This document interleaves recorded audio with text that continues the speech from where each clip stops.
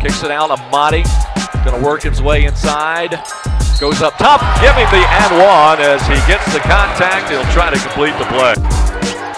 Terrence Edwards being harassed. Soule gets his man up in the air, drives to the rim and lays it up and in. The Duke's now showing some backward pressure.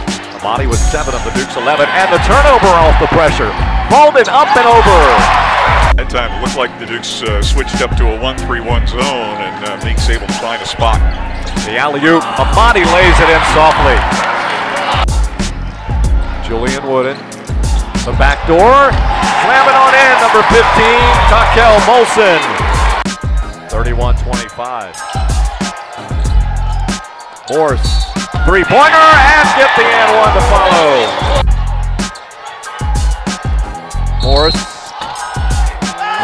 Will fall on in.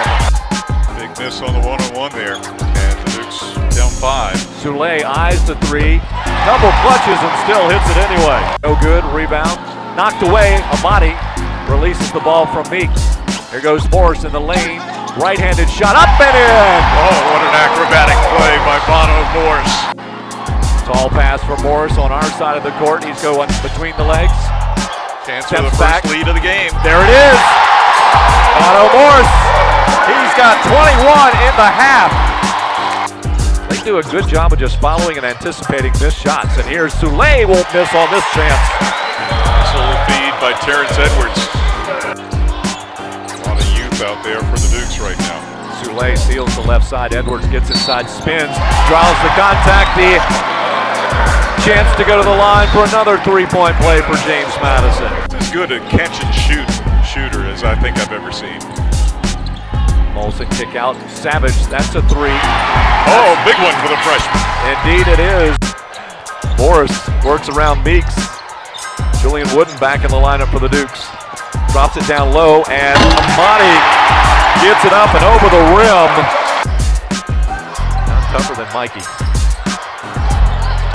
Three-pointer, Vado Morse hits Oh, the deck my. afterwards. Wow. Season high 28, Dukes up by seven.